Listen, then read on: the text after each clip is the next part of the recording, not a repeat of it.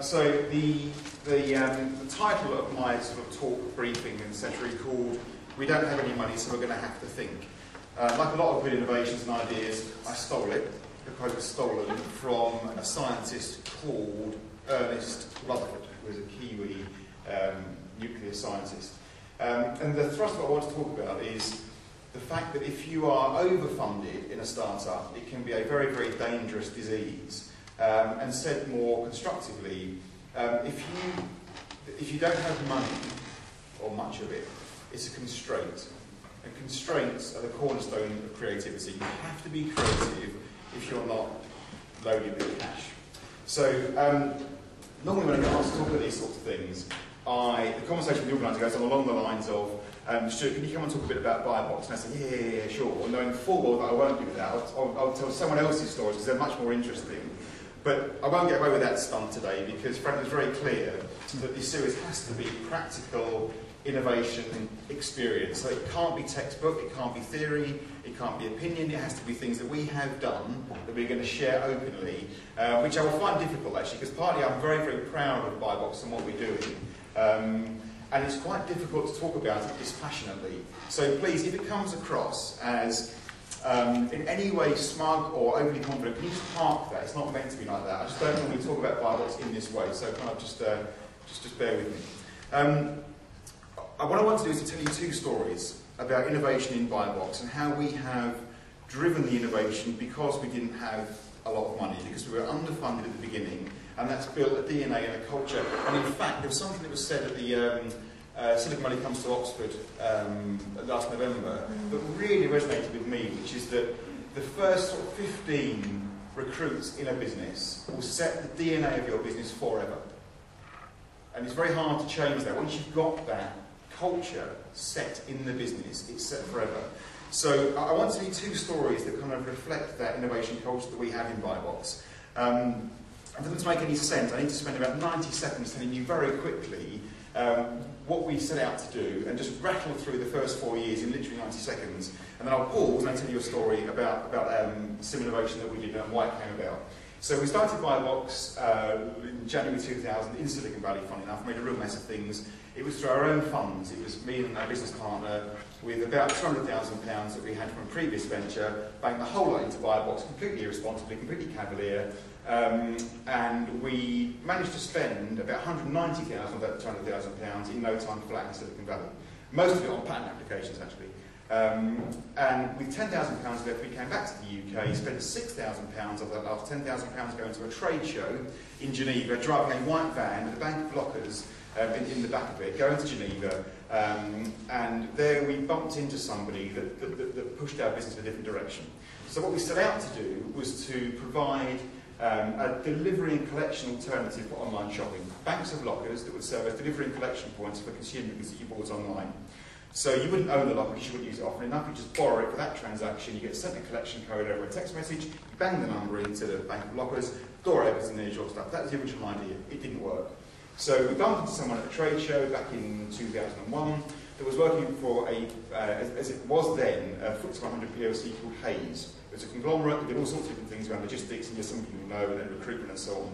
And they had a division that was moving spare parts for mobile engineers all over the country into banks of mechanical lockers. Not electronic, nothing sexy, um, just banks of very big mechanical lockers, about 30 on a, on a location, typically on a, a, petrol station or a supermarket, and in the middle of the night, five nights a week, they would deliver spare parts to mobile engineers everywhere from Truro to, to Elgin and Inverness and, and most places in between.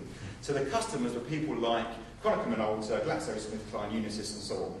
So um, that to us was a fantastic moment because we could suddenly see that while in our lifetime the consumer market would open up and we could probably use our technology in that space, um, it would take a long time.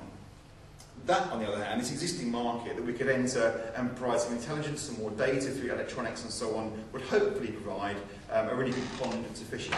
So to cut a very long story short, we ended up getting into an agreement with Hays uh, and to, to rent them 335 banks of electronic lockers for five years. And the contract was worth about £10 million to us. So and just as a quick, as I'm going through this, just bear in mind, at this time in our development, there was a Harvard Business Review case study that was published, it was actually back in 2002, I think, And there were 53 companies worldwide trying to do what we were trying to do.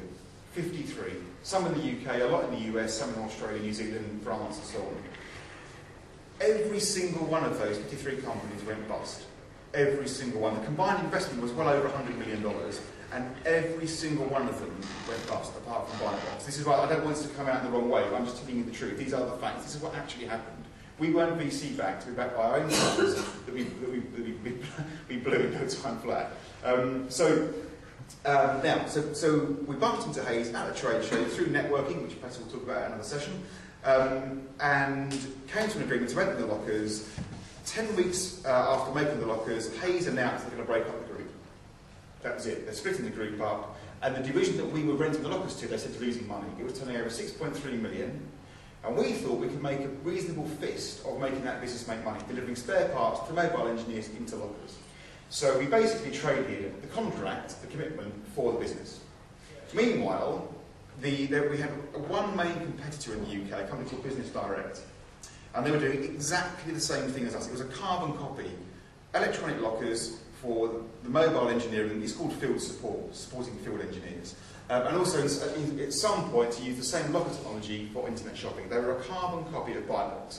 Apart from the fact all of their lockers were electronic. We had a, a similar network size, 300 electronic locker banks each, but we had thousands of mechanical lockers as well as a result of the acquisition that we made through Hays.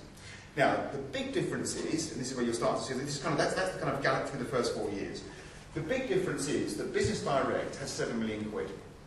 So they're listed on the AIM market, and they had 7 million pounds of funding, a very professional team, um, I'm trying to find a polite way of saying examples of being video, so I need to be slightly careful. We absolutely hated each other. We wanted to knock seven bells out of each other. Um, and in my mind, it was a fight of good over evil. Um, they, they, tried all sorts of nasty tricks. Um, they were extremely well funded. Um, and we were a business in their mind that had this dumb locker network with an aspiration to have electronics and so on and so on. So, the first thing I want to tell you is what happened the week that we launched our transport network after having bought this division from Hays. So there we were, acquired this division that was what swapped it, um, turning over 6.3 million, and we could not afford to lose a single one of our top 20 customers. If we lost any, any of them, it would absolutely we would have gone bust. And over here is Business Direct, whose stated mission from their CEO to me in person was that we basically are going to nick all your customers. We're going to roll out our electronic locker network and we're going to steal all your customers. And he had the temerity to say to me in Oxford at dinner, in all seriousness, this isn't a joke by the way, he said, um, we're going to nick all your customers anyway, but I tell you what we could do. If you give us half your customers, we'll leave you alone. Your, your children will be okay, my children will be okay, just give us, well, I declined this kind of to give away half our customer base. Um, and in the first week of, of acquiring this division, six of our top 10 customers went to tender. I was absolutely gutted. And at the time, our biggest customer, it's not our biggest customer today, Unipar, but at the time, our biggest customer was Dixon's Group.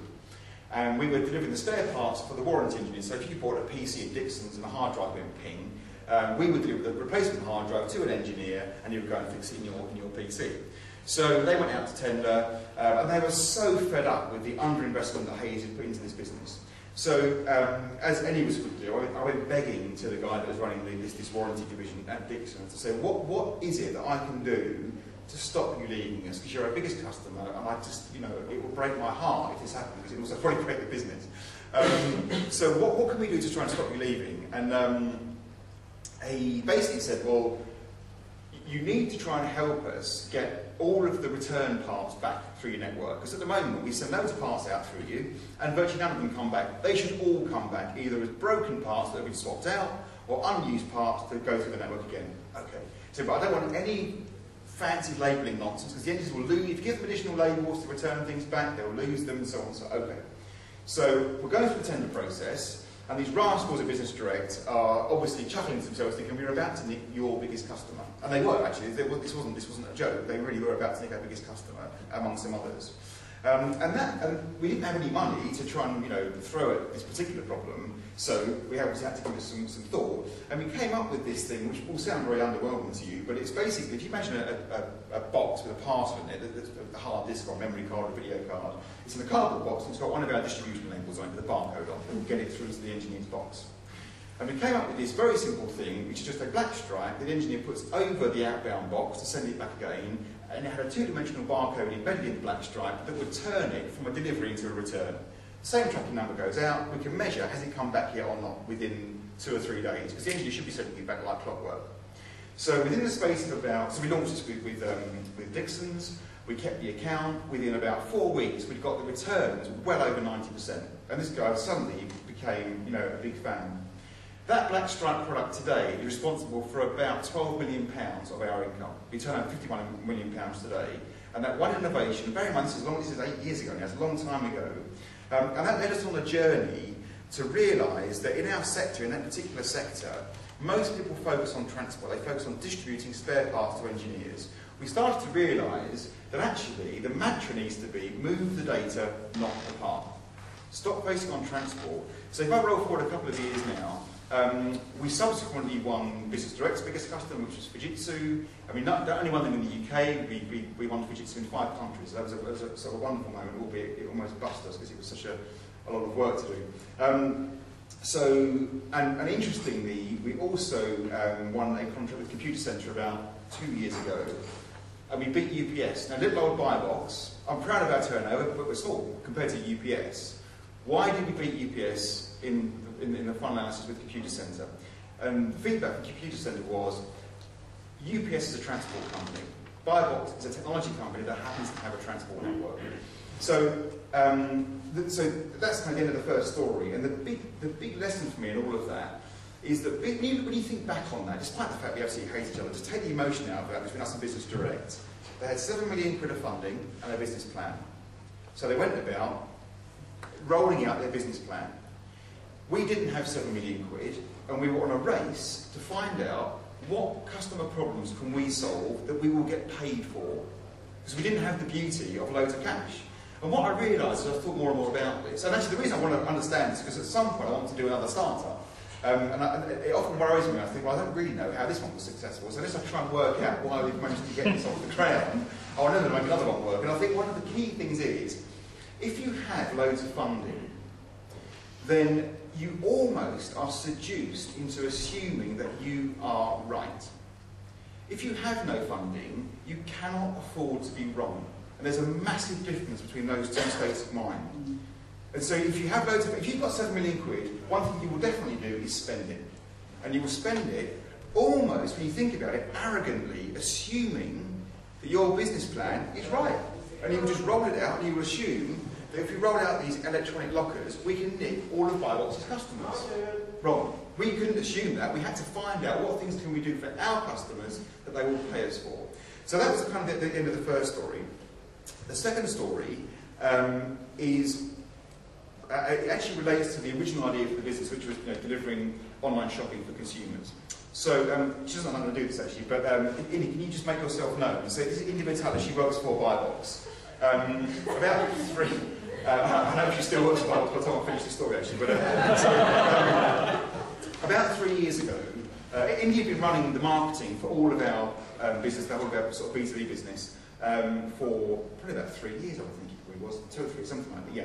Um, and about three years ago, came to me and said, you know that original idea about um, delivering uh, online shopping into electronic lockers, so you don't have to wait at home, you can do it at night, it's very carbon friendly, and all the other great reasons. Um, why don't we have a crack at that now? We've got a transport network, we do about 20 million things a year for very demanding you know, uh, business customers. We've got a transport network, we've got thousands of lockers, and we've got a software team to die for. We don't need anything else. Just go to online retailers and say to them, do you want to offer this? Delivery for online, online shopping today is, is, is rubbish. You know, you, delivering to us not at home is just madness. So why don't we go to them with that kind of proposition? So, um, so Indy um, moved from running the marketing, we replaced Indy with someone else to do the marketing, and she championed this consumer proposition on her own for three years, well, up until today, she's still doing it. Um, so, anyway, so the, the, story that I want to tell you briefly is, um, is, is, one of the lessons that we learned. Uh, again, it's all about the kind of, we don't have any money, so we're going to have to think in how we launched and finally made a breakthrough, finally made an important breakthrough in this online shopping delivery um, piece that, that, we tried to, um, we've been pursuing for a while now.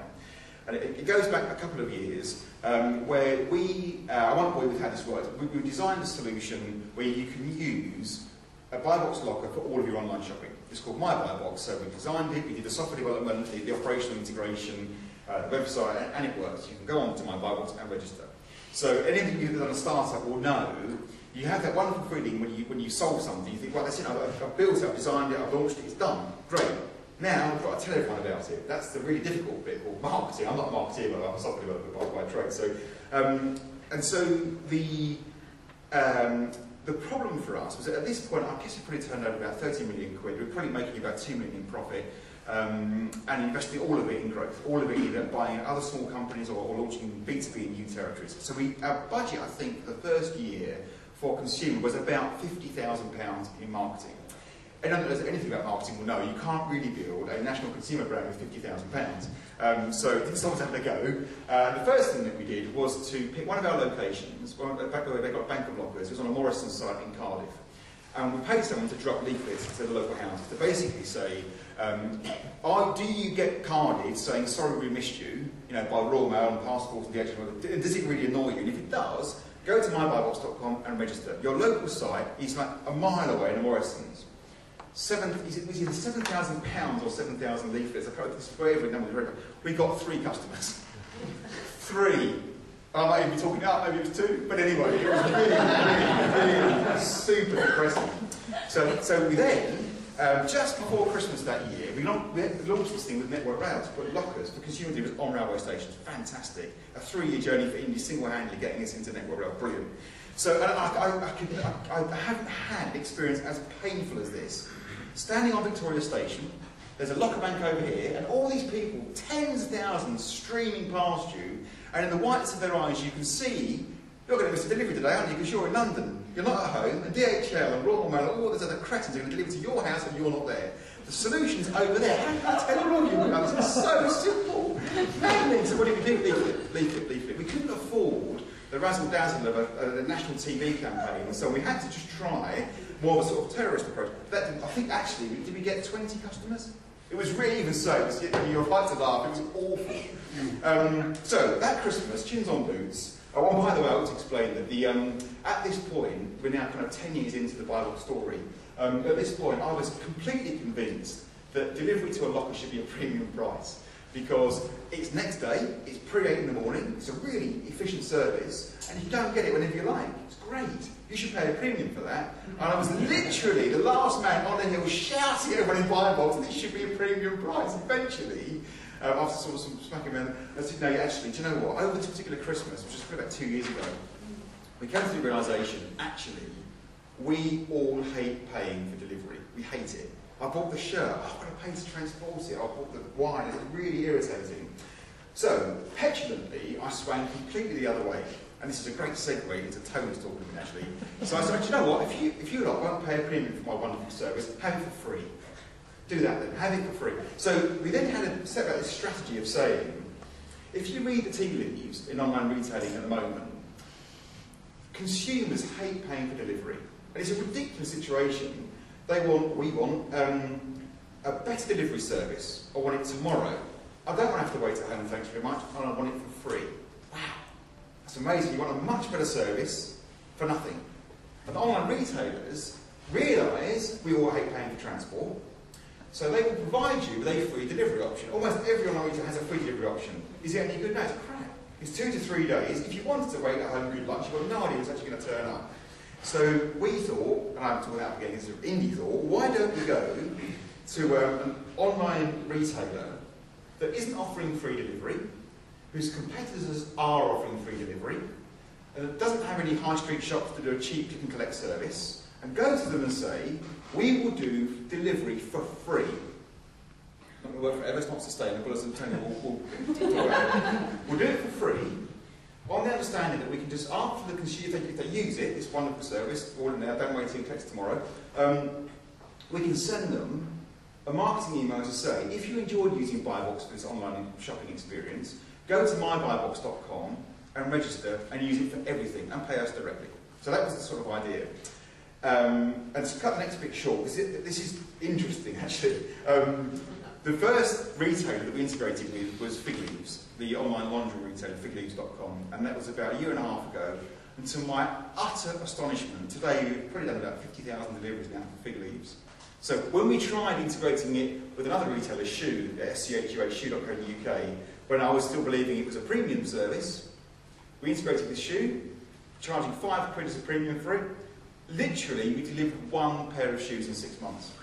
Unbelievable. We offer it for free with fig leaves, um, and today, yes, about 50,000 deliveries. Interestingly, and we've launched with other retailers now as well, the, the current conversion from one of the more recent retailers, so, so because the acid test for us is, um, we can do that for free, we can deliver hot pants for free into lockers, we're going there anyway, it's not going to cost us very much, so you know, we don't have any, money, we can't spend money on a massive campaign, but we can deliver some stuff for free to a point.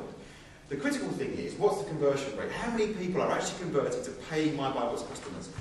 One of the retailers that we launched with in January, the current conversion to paying customers is 17%. Fantastic.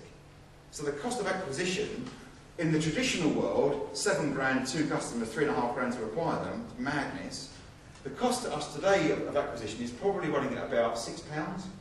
We can afford that. It's not even cash cost to us, it's, it's delivering for free. So um, I think wrapping all of that up, the, uh, I am a real believer in being overfunded as a disease. Um, uh, when if you're underfunded, you do genuinely have to think. And the last thing I want to say uh, before I hand over to Tony is um, that kind of.